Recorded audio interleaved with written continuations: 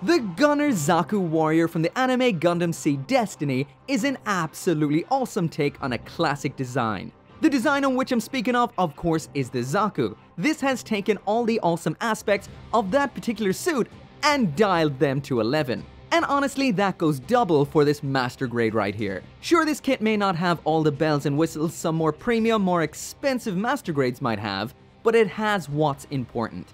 This is simple and solid, and looks absolutely mesmerizing.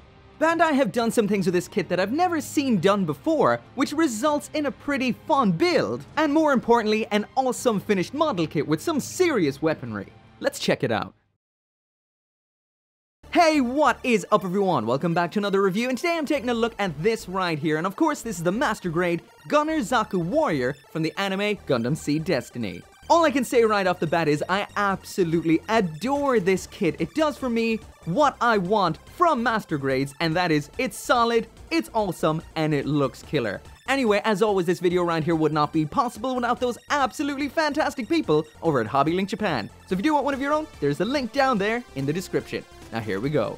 So finally that right there is what the Master Grade Gunner Zaku Warrior looks like out of the box, snapped together with some panel lining and some of the stickers attached. All in all, I cannot deny how much I love this design right here. The color's awesome, that unique take on a Zaku, awesome. It just looks powerful and cool. But also, just like I mentioned right there, I have done a little bit of extra effort on this than usual, which is a bit of panel lining as well as some of the stickers, and I'll talk about both of those soon. First off, there is a full spin of what this thing looks like. This is it just out of the box with none of its equipment yet, and this thing looks so awesome. I love it. A couple of the aspects about the design that stand out to me just from looking at it right here is I love the way the head is recessed down into that armor. That seems smart. If that's your main camera, of course you want to protect it. Very, very smart. Besides that aspect of the design, this model kit is quite unique with all of the raised kind of armor parts. So when you're panel lining this, it isn't necessarily recessed lines all of the time. A lot of it is indentations, raised parts like you can see on the legs. These aren't individual pieces of plastic, of course. These, like you can see right here, is just nicely raised parts and recessed parts on the surface of the plastic, but all in all, that is pretty cool. Also, really quickly, there's a side-by-side -side comparison of the spin as well as the original art of this particular Zaku. The first thing I have to mention is they have kind of rejiggered it a little bit to look a little bit more dynamic. The silhouette of this looks awesome. They've made it look a little less chibi and a lot more dramatically dynamic. There's an image of what it should look like from the back with all the equipment on. And once again, I have to say, I really love what they did with the surface of this compared to the standard basic looking surface in that original art. All in all, it looks so good. Bandai have done an absolutely fantastic job with the color here. It's so eye-catching, so perfect. I'm not sure how it will turn out in the video because reds like this tend to be a little bit on the uh, difficult side for my camera. Sometimes they're a little bit oversaturated, sometimes they're a little bit undersaturated, sometimes they're totally out of focus like that, but all in all, I can say this thing looks spectacular in person. The other colors on here look great. We've got that black, which is an almost matte black, and it's soft to the touch, something else I will talk about a little later in the review. We've got some absolutely pure whites as well, like the vents there on the chest. Again, pure white, pure awesome. Then we have this very, very, very light pink that you could almost think was white at first glance, but no, that is a very light pink. Color correcting stickers? It's got none. So as for the decals that come with this kit, there's a picture I took before I took a bunch of them off. These don't look too bad in a vacuum, they're actually quite nice. These are sticker style, which is always a letdown. They never look really all that great on there, but whoever designed these and their layout needs to be locked away because they're an absolute madman because I followed the instructions for a bit and ended up with this right here. Look at that mess. It's just like bip, bip, bip, bip. It's like they're shot on there with a decal shotgun or a two-year-old did it. They don't look good. These are coming off. This one's a mess. This one's a mess. They're not too bad. It's not as cluttered anymore. A sticker style decal on a curved surface. What are you thinking? Besides that though, they are quite nice. I do like the shoulder ones. This one's a little bit sketchy, the one with all the writing, but the worst aspect with these is they are sticker style, so that means you'll always see the outer section of those. They'll never really look good. I miss the days of those rub-on dry transfers. As for quick size comparison, there it is side by side with standard size Master Grade, that's the Granddaddy 3.0, a small Master Grade, that is Gundam F91, and an absolutely huge Master Grade, the Sazabi Ver.Ka. So all in all, it's a little bit, ever so a little bit on the small side. But anyway, before I go any further in this review, I'm to do something I did in the last review, and that is I'm to talk about 5 good things I absolutely adore about this kit, and 5 bad things I don't particularly like about it at all. So here we go. We're to start with the good. As someone who is entirely unfamiliar with Gundam Seed Destiny, I didn't know that this redesign of Zaku included redesigns of classic Gundam Zaku weapons. That's a redesign of the classic Zaku machine gun, redesign of the classic Zaku Heat Hawk, and a redesign of the classic Zaku shoulder shield. All of this is sheer awesomeness. You know those annoying little pipe bits on Zeon kits that you have to individually thread onto the inner part? It takes ages to cut out, clean, etc. Massive pain in the butt. Well, as for this little section here on the leg, this all comes pre-molded on runner K, so all you have to do is pop it off the runner, give it a bit of a wiggle to make sure it's all ready to bend, and then you're done. It just pops in here and up here, and you're done. Awesome. I hate polycaps. They're unreliable and my dog likes to eat them. Thankfully, the Gunner Zaku Warrior doesn't feature a single one in its build whatsoever, which makes it awesome in my opinion. And that leads right into the next awesome aspect, and that is that black plastic. The black plastic that makes up the inner frame as well as all the joints on the back of the shield everywhere that matters internally on this kit is made out of a semi-flexible black plastic that really grips, which I've never once seen before. Which means that once you pop this guy right here in a pose, even though it doesn't have any polycaps, that plastic really does grip the pose perfectly. No flopping around here! Passes the wiggle test with flying colors. Once again, no flying pieces. And for the last awesome aspect about this kit, and it was hidden right in plain sight here, is this. Some of this kit is made up of 1 100 Zaft frame. All the rest say Gunner Zaku Warrior or Zaku Warrior. So you know what this means right here? That means they're gonna be making more based on this frame. Even if they're just P Bandai color variants and parts variants of this, I am all on board. I love this thing. We'll buy more. So without a doubt, the Gunner Zaku Warrior is absolutely awesome, but it's not without its downside. So let's check out the five bad aspects. If you're an inner detail junkie, this might not do it for you because on the inside it is a bit on the simple side. A lot of boxy square shapes and plain parts. Sure, at the end of the day, once you've it all built, that doesn't matter, but there are those of you, and I know there are those of you, who love your internal detail, and some of this just looks quite plain. Speaking of some plain aspects, like I mentioned, this doesn't feature a lot of the bells and whistles of more premium, higher end master grades. Design wise, it is a bit on the basic side, so that does mean there is no undergating, so that does mean we have surface nubs like what you're seeing right now, and as well as that, just moving up slightly, we've got some mold lines, something I haven't seen in quite some time. Right there, we've got ourselves a pretty hefty mold line. Right there on the butt, we've got another one. You can see it right there, catching the light nicely. And this thing's massive gun features a massive seam the entire length of it. The entire length of this huge thing. It's got one massive seam line. So that is nubs, seam lines, and mold lines. So a lot to clean up and a lot to fix if you want this to look absolutely perfect. While speaking about this gun, this also features a wire with some varnish tube on it, or as the Japanese call it, varnish tubu. I find this keeps separating from the ends where it attaches all the time, like it's slightly too short. I pull it down, it's like, oh, it's fine, and then in a little while it's just slid back up again. Up there is the other end of it, and as you can see, it has slipped off. This is kind of annoying. There is nothing to hold it in place or to keep it in there. It even kind of goes over it like a Chinese finger trap or something. All in all, this could be a little bit longer and pinned in a little bit better. As for the next down point, oh hey, Strike Remaster, didn't even see you there. Oh hey, Strike, where's Freedom 2.0 at? I went and, uh, broke his hip again. He has to get one of those Chinese metal hips put in. Oh yeah? Can I borrow your beam rifle? Sure, why not? What? So yeah, Bandai gave this kit swappable finger style hands, but did not make them compatible with the previous Seed kits, which were in turn compatible with the Wing EW kits. What wasted potential. By the way, where'd you get that sweet little Neo Zeong?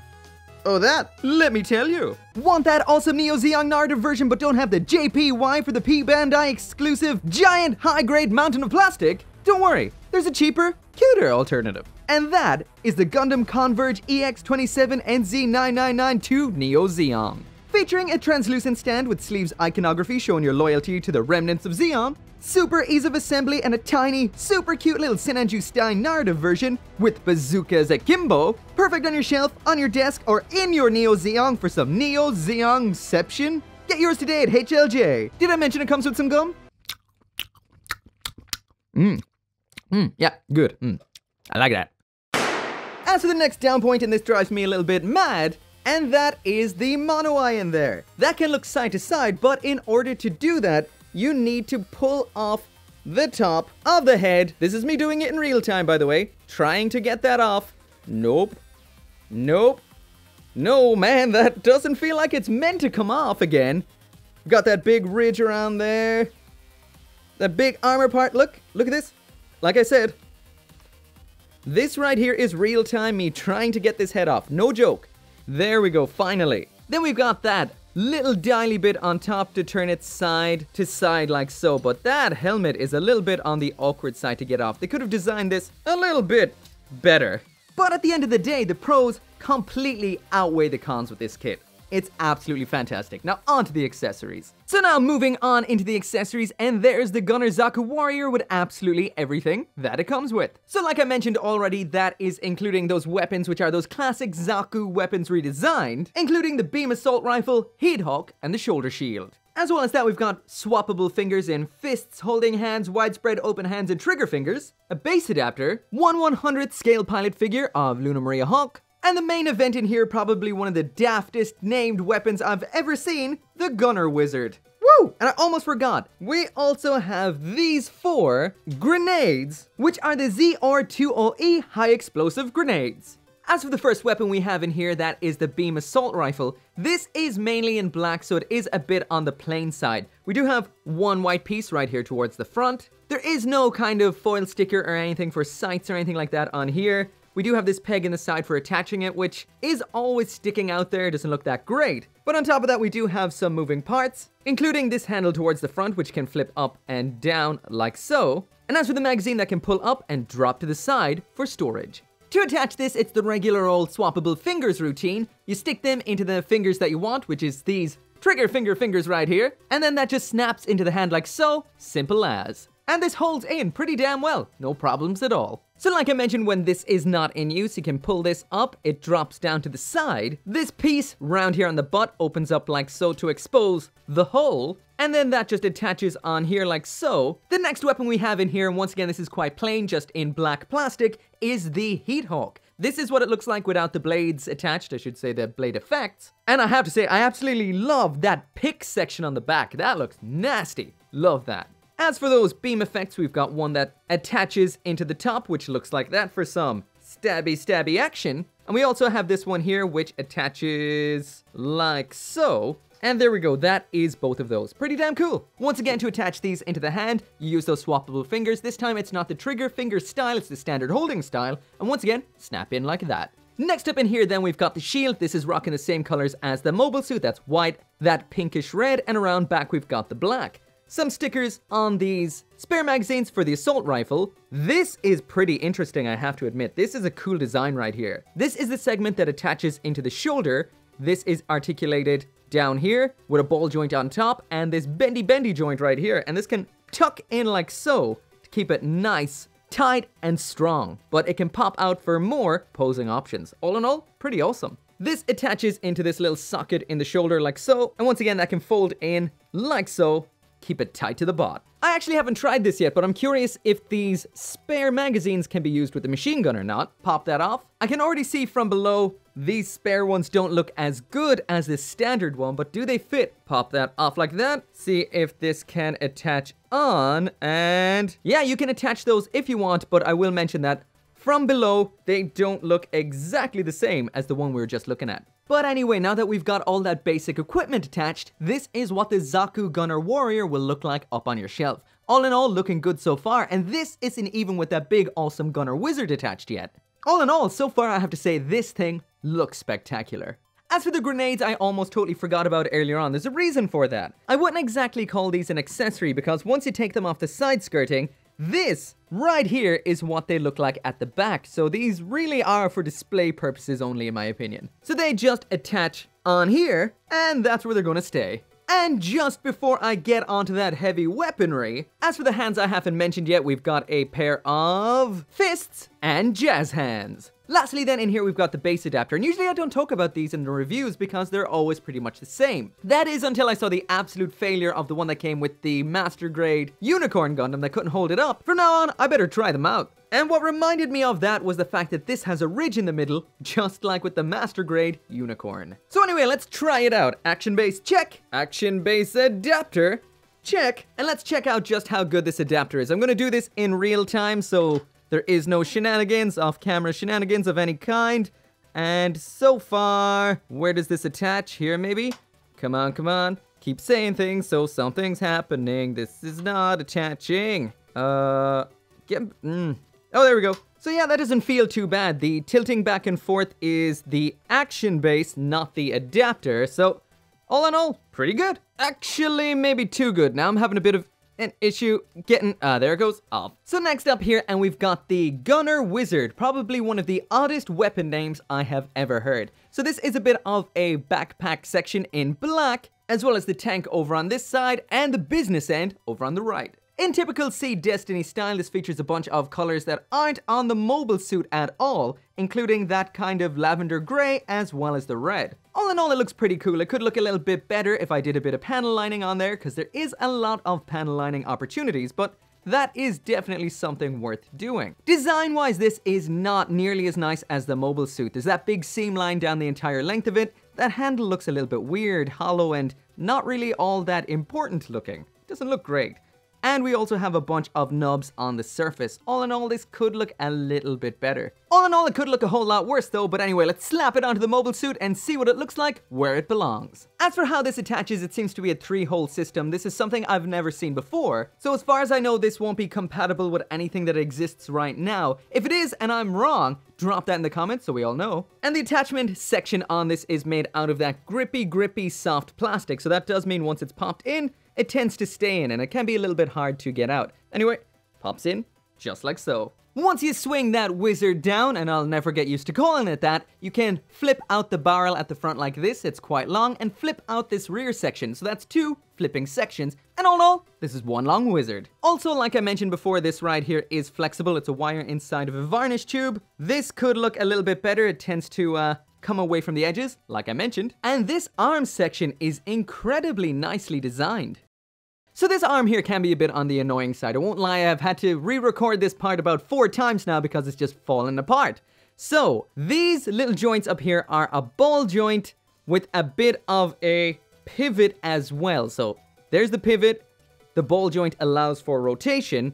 Off it comes. This little joint in here just lets it go up and down like so. But it's not really held in perfectly well. As you can see, the joint is open like that, so it just kind of slots on and has to hold itself in with a little bit of a clippy sort of end. It's not great. And lastly, this one here is the same as up there, so it's mainly just a big old ball joint, like you can see there, with somewhat of a forward and back, but it is inclined to kind of fall out a bit. It's a little bit annoying. The last thing I almost forgot to mention is this handle can pull up at this point, and rotate in and out at this point here. As for other moving parts on this huge cannon, this handle can move up to the side like this, and then has more pivot here to here, and this whole segment here with the sight section can slide up and out like that, and this in here is just a sticker, a blue sticker, off the sticker sheet.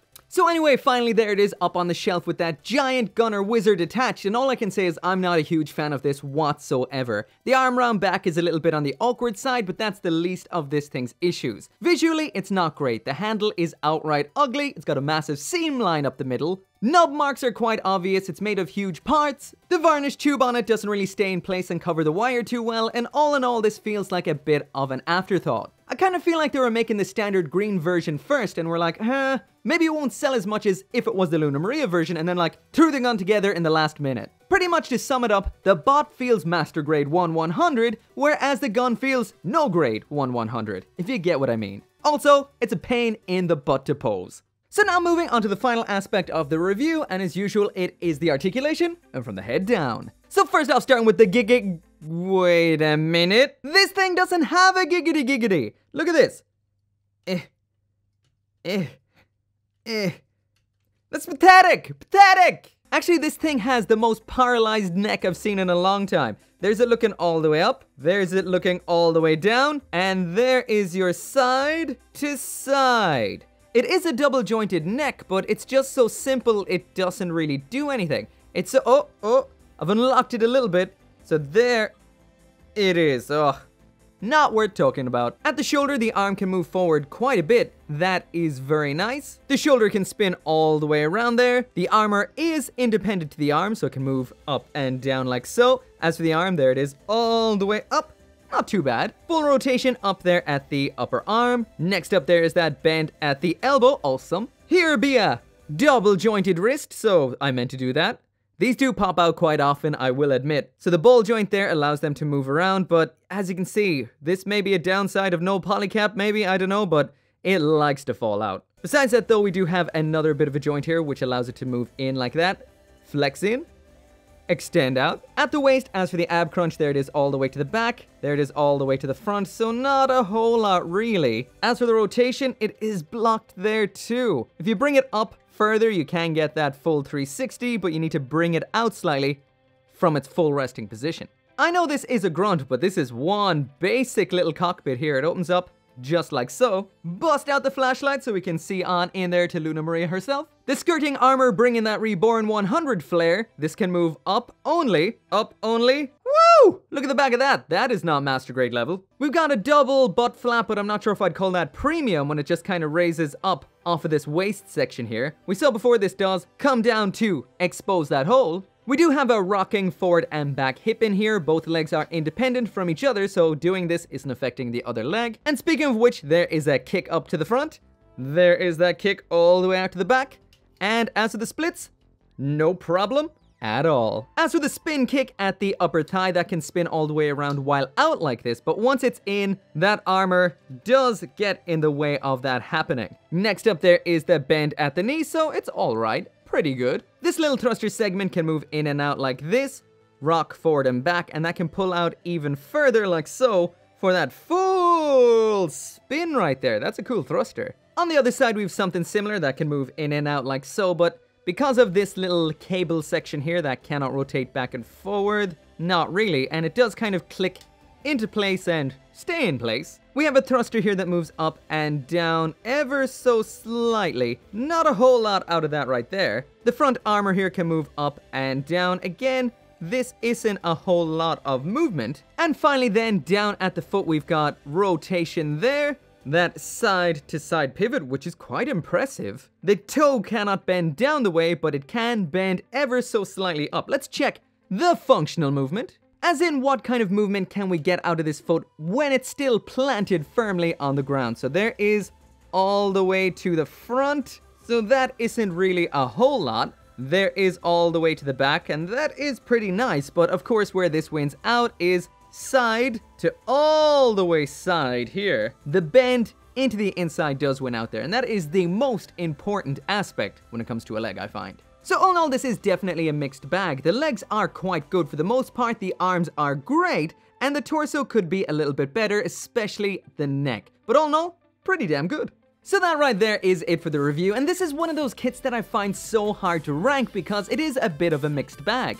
The mobile suit itself is absolutely fantastic. I love it to bits. It's simple, it's solid, it does everything right. It doesn't extend itself too far and end up a bit of a flop because it's trying too hard. It's just a good all-rounder of a kit. It does have some little cosmetic issues like some seam lines, mold lines, a lot of nubs on the surface and whatnot, but these aren't par for the course for a model kit. They're not that big of a deal.